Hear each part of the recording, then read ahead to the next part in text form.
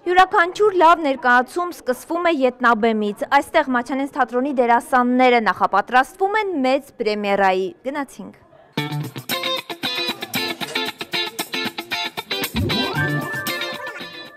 Ստեղծագործական խառնաշփոթ է հանդերձարանում։ Մաչանենց թատրոնի դերասանները նախապատրաստվում են Գեղեցկուհին եւ Հրեշը ներկայացման առաջնախաղին։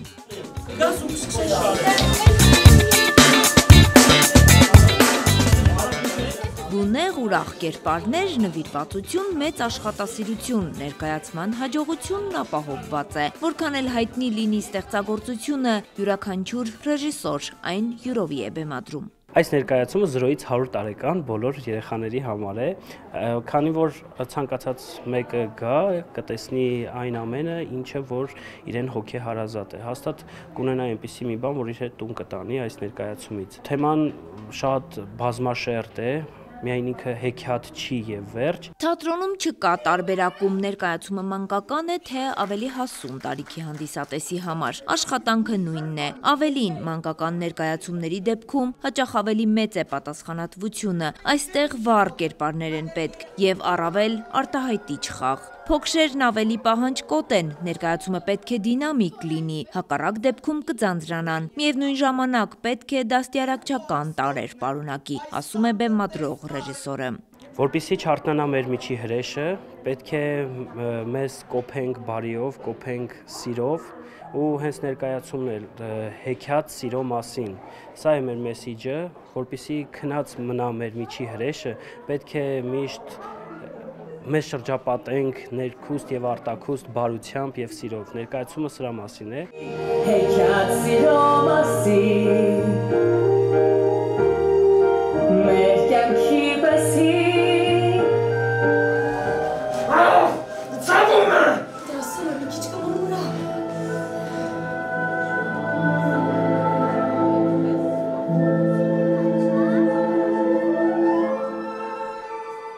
Վարդան Երվանդյանը կեսկատակ, կես լուրջ արդեն վարժվել է արքայազնի դերին։ Անկեղծանում է այս ներկայացման ընթացքում դժվարություններ շատ են ունեցել, բայց հաղթահարել են թիմային աշխատանքի շնորհիվ։ Մոխրոտի մեջ որպես արքայազն, սա երկրորդ կերպարն է, որպես գլխավոր դեր դժվարություններ շատ-շատ կային ընթացքում բնականաբար, բայց դե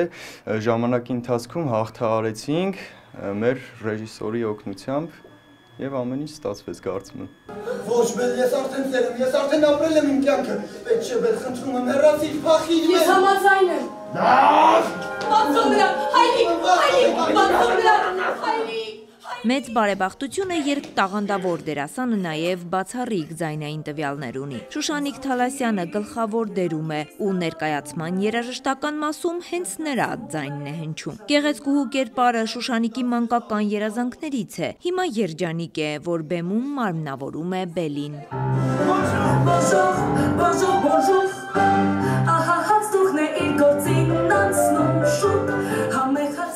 Դեռ փոքրուց սիրել եմ հեքիաթը երբ որ փոքր էի մանկապորտեզի տարիքում մայրիկը շատ էր կարդում Գեղեցկուն եւ հրեշը հեքիաթը ու շատ էի սիրում երբ որ արդեն պետքա բեմադրենք Գեղեցկուն եւ հրեշը ներկայացումը Մաչանենց թատրոնում շունչս պահած սպասում էի թե ես ինչ դեր պետք է ստանամ անկեղծ լինեմ ու երբ որ ասացին որ պետք է խաղամ Գեղեցկուհու կերպարը մարմնավոր եմ Գեղեցկուհու կերպարը մեջս ինչ որ փայլ եկավ աչքերից որովհետեւ շատ շատ շատ ուրախացա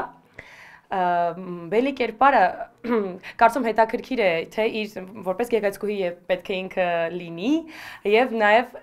ամեն կերպարի մեջ պետք է դնես քո ներքինը, քո ուությունը, որ դու կարողանաս ճիշտ մարմնավորել եւ մի փոքր նմանեցնես ինչ որ չափով նաեւ քեզ։ Թատրոնում կարևորագույն բաղադրիչներից է պարային ձևավորումը։ Ներկայացման խորեոգրաֆ Լիլիթ Հովանիսյանը գործադրել է բոլոր ջանքերը պարային ճկուն դետալներ ստանալու համար։ Միևնույն ժամանակ ամբողջ նվիրումով բեմում մարմնավորում է թեյնիկ մայրիկին։ Նախ պետք է ավելի ներկայանալի տեսք ունենալ։